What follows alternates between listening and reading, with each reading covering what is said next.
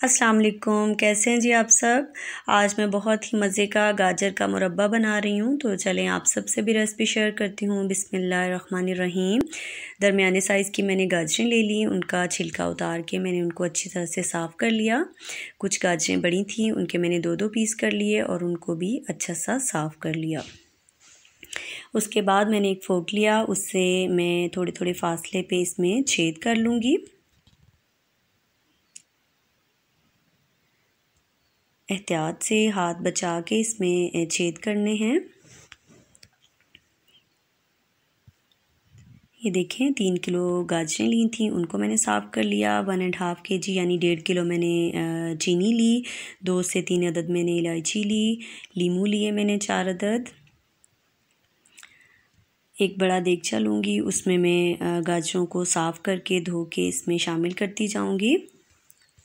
गाजरें बहुत ही मुफीद हैं नज़र के लिए भी, दिमाग के लिए भी जिस्मानी कमज़ोरी दूर करती हैं और इसके बहुत से फ़ायदे हैं। ये आप गाजर का मुरबा बनाएँ, गाजर का हलवा बनाएँ और गाजर का जूस पिए, बहुत ही मुफीद है ये। गाजर हमारी सेहत के लिए और ये देखें, इस तरह मैं सारी गाजरें साफ़ करके इसमें डाल लूँगी और गाजरें सारी शामिल करने के बाद मेरे पास जो शुगर थी उसको मैंने थोड़ा सा पीस लिया और वो इसमें मैं शामिल कर दूँगी और इसको हिला दूँगी।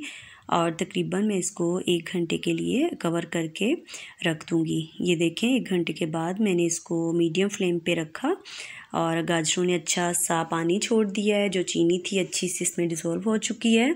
अब मैं इसको तकरीबन दस मिनट कवर करके पका लूँगी मीडियम फ्लेम पे। और ये देखें मीडियम फ्लेम पे इसको मैंने 10 मिनट पकाया और इसमें पानी का मैंने बिल्कुल इस्तेमाल नहीं किया। कुछ लोग इसमें पानी भी डालते हैं, लेकिन मुझे लगता है कि इसमें पानी गाजर में अच्छा खासा होता है और ये जब हम इसको एक घंटे के लिए चीनी डाल के इसमें रखते हैं तो पानी छोड़ देती है गाजर। ये देखें, दस पंद्रह मिनट पकाने के बाद मैंने इसमें वो लेमन जूस शामिल किया और, जो इलायची थी मेरे पास, वो भी इसमें मैंने शामिल कर दी और मैं इसको हिला के तकरीबन 10 से 15 मिनट में मज़ीद इसको पका लूँगी। गाजर आ, में चीनी अच्छी तरह असर कर जाए आप एक से दो दफ़ा इसको गाजर को निकाल के टेस्ट कर सकते हैं। और जब ये देखें गाजर अच्छी गल चुकी है लेकिन अभी मैं इसको मज़ीद पकाऊँगी।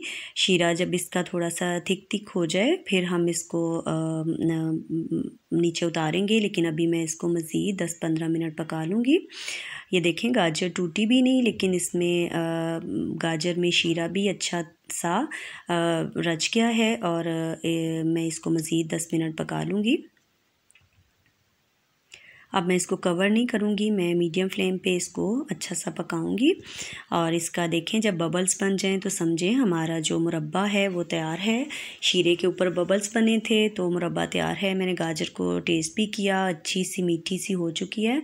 अब ये देखें, मैं गाजर को निकालूँगी, ठंडा करके आप इसको सेव कर लें। ऊपर इसके मैं थोड़ा थोड़ा शीरा डालूँगी। बहुत ही लजीज गाजर का मुरब्बा तैयार हुआ है, आप भी ये रेसिपी ट्राई करें।